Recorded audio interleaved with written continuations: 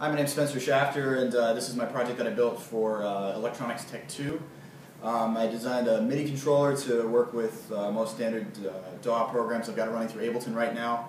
Um, sensitive buttons, uh, push buttons on the right hand, some uh, mappable control effects parameters on the left hand via a little joystick. And I've got my brain box here that's got a couple of sequence selectors and some switches and potentiometers that I can use for tuning individual MIDI notes. So I'll uh, just go through and give you kind of a breakdown of what all I can do with this guy. So.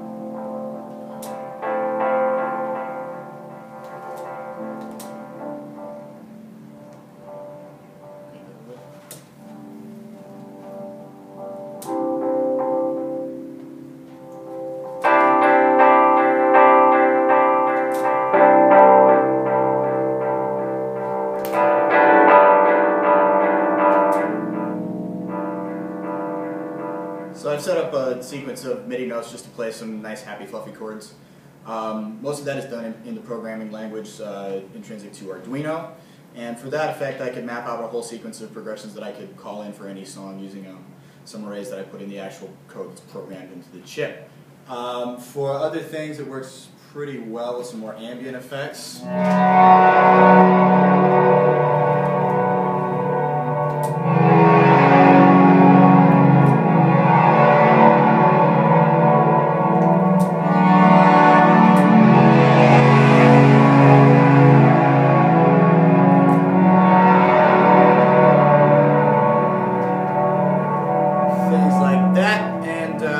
Got some pretty good mapping going on for kits, like uh, some 808 sounds and stuff like that. So we'll try a couple of those.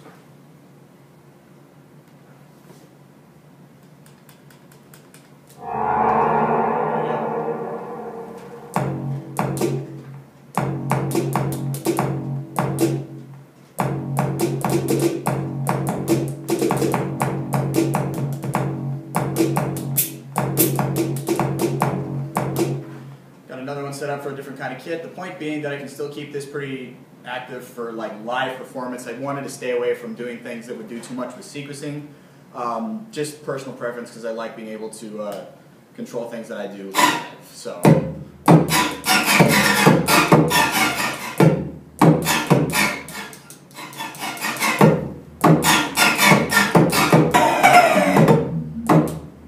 It's like that, and last but not least, let's uh, try this one out.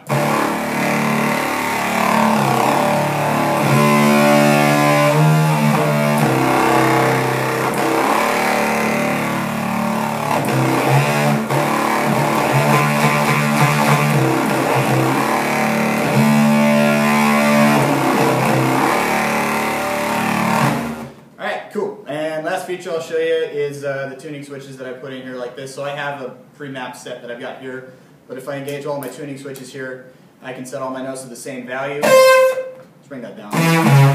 And I can slowly take them out one by one.